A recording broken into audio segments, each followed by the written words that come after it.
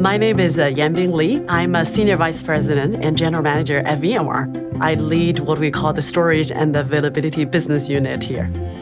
So, in the beginning of 2014, uh, I was making a career transition, moving from China back to Palo Alto, our headquarters.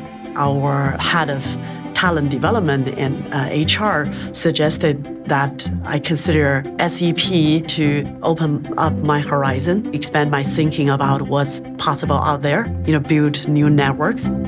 I went into SEP trying to expand my understanding of business leadership. You know, I've been in a technical leadership role for many, many years. So I was very interested in thinking about how do I expand my horizon from technology to business leadership. Within a year coming back from SEP, I was given the opportunity to change from a VP of engineering role to a GM role, essentially leading um, up and coming business uh, that we have in storage.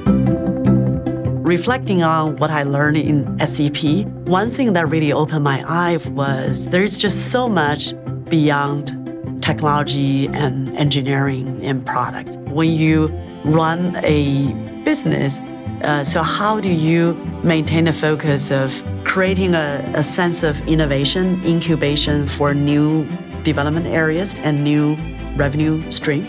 but in the meantime, continue to support and grow existing business. It's constantly a leadership struggle. But in the innovator's dilemma, you know, I constantly draw to my SEP language for um, for ideas and, and inspirations.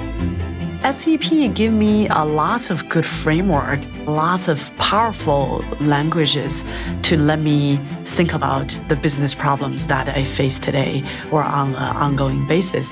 In the past few years, we've been on this uh, uh, what we initially considered impossible goal of uh, building a billion dollar business uh, here in, in, my, in my team. And we just celebrated that milestone. SEP, I really see it as a great catalyst in the evolutions of myself as a leader.